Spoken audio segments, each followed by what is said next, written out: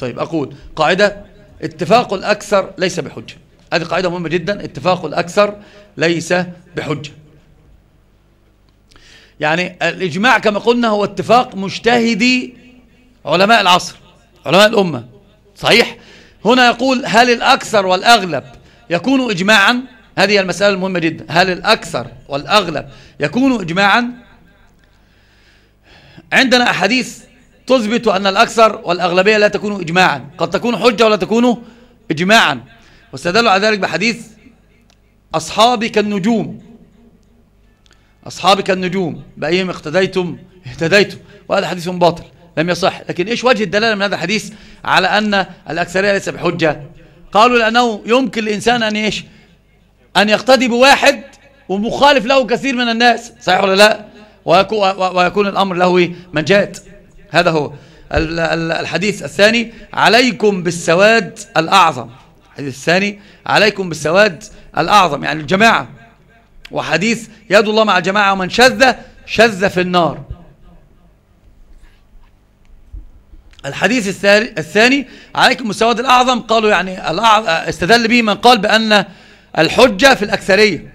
لأنه قال الأعظم ما قال الكل. فأدار النجاة على السواد الأعظم يعني الأكثرية.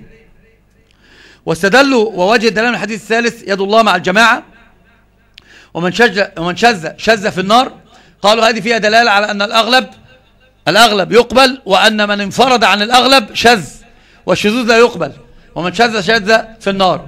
هذا هذا الذي استدل به بعض من قال بأن الأكثر حجة. وهذا قول من؟ قول جرير الطبري وهو قول أبي بكر آه، الرازي من الشافعية. وهو رواية أيضا عن أحمد. رواية عن أحمد وهو قول من جرير الطبري قال الأغلب الأغلب وذلك إجماعات من جرير الطبري لابد أن تكون منها على وجل وحذر. فقال آه، علماءنا هو ابن جرير الطبري يقول بذلك والرازي يقول بذلك وهو رواية أيضا عن أحمد. وإن كان معتمد عند أحمد أن الإجماع لا يكون إلا أحمد أصلا لا يرى إجماعا إلا إجماع الصحابة. ويقول وما يدريك لعل الناس قد اختلفوا قد اختلفوا. أما مذهب الجماهير من أهل العلم بأن الأكثر لا يكون إجماعا بحال من الأحوال. أما الرد عليهم في الاستدلال بحديث أصحابي كالنجوم آه، هو ليس لهم هو عليهم. وأما الاستدلال بحديث عليكم بسواد الأعظم هذا من أجل نجاة يعني هو نفس في السياق حديث يد الله مع الجماعة من شذ شذ في النار. الحديث ليس في السياق الذي يستدلون به. الحديث سياقه في سياق السمع والطاعة لولاة الأمور. بأن من شذ عن ولي الأمر شذ في النار. وهذا الكلام مخرجه على حرمة الخروج على ولاة الأمور. أيما كان أيما كان ولي الأمر لا يجوز الخروج عليه.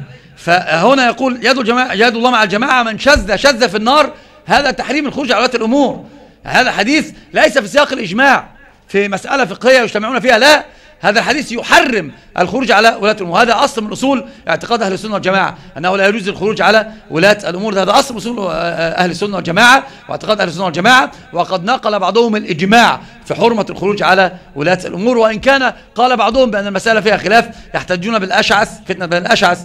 عندما خرج معه سعيد بن جبير والحسين بن علي وكل ذلك مردود عليه. صحيح أن اعتقاد السنة والجماعة لا يجوز الخروج على ولاة الأمور بحال من الأحوال وهذا الحديث نص في المسألة من شذ شذ في النار فهو في الخروج على ولاة الأمور. فلا يساعدهم على ذلك والصحيح بأن الإجماع هو اتفاق مجتهدي آه، الأمة. اتفاق مجتهدي علماء الأمة وليست المسألة دائرة على الأغلب القاعدة الثانية وننتهي بها حتى لا يعني أطيل على الإخوة يثبت الإجماع بخبر الواحد. يثبت الإجماع بخبر الواحد. هذه مسألة خلافية حقا هذه مسألة خلافية لأن الرازي لأن الإمام الغزالي وبعض والأحناف الأحناف والإمام الغزالي وبعض الشافعية يرون أن الإجماع لا يثبت إلا بإجماع. وهذا ندرة إثبات الإجماع. هنا الغزالي كان يقول استحالة إثبات الإجماع إلا في أمور نادرة جدا. فهو يقول لا يثبت الإجماع إلا بإجماع. ولكن علماءنا يحتجون بأن الإجماع قد يثبت بخبر الواحد بقول النبي صلى الله عليه وسلم نحن نحكم بالظاهر. نحن نحكم بالظاهر. وقلت هذا الحديث ضعيف. والحق بأن الحجة في قول الله جل في علاه وإن جاءكم, وإن جاءكم فاسق بنبأ فتبينوا. مفهوم مخالفة؟ إن جاءكم عدل بنبأ فإيش؟ ها فإذا لا تبينوا. إذا خذوا واقبلوا فإذا جاءكم رجل واحد قال إن عقد الإجماع عند صحابة رسول الله على حرمة شرب الخمر يقبل. وكل إجماع منعقد. مفهوم؟ والحق بأن جمهور العلماء استدلوا بالقياس. قالوا خبر الواحد بالإجماع يقبل. خبر الأحد اللي أتى به واحد بالإجماع يقبل. ووجه الدلالة عندهم بهذا القياس أن هذا قياس الأولى.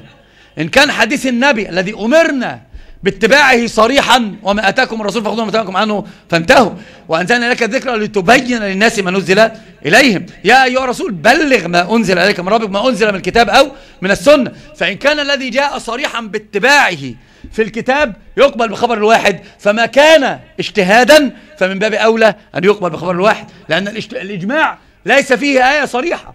وحتى الأحاديث ليست الأحاديث كما بينا قبل ذلك مرفوعة صريحة صحيحة في ذلك. صحيح ولا لا؟ لكن نحن نقول آه، الأمة أجمعت على قبول الإجماع وأنه من الأدلة المتفق عليها. فقالوا إن قبلنا خبر الواحد الأحد حديث آه، إن قبلنا حديث النبي الذي هو حجة على العباد قبلناه بخبر الواحد فلأن نقبل الإجماع بخبر الواحد من بابي أو هذا صحيح. وكم وكم من المسائل التي قبلت فيها الإجماع بخبر الواحد. بهذا نكون قد انتهينا من الأدلة النبوية.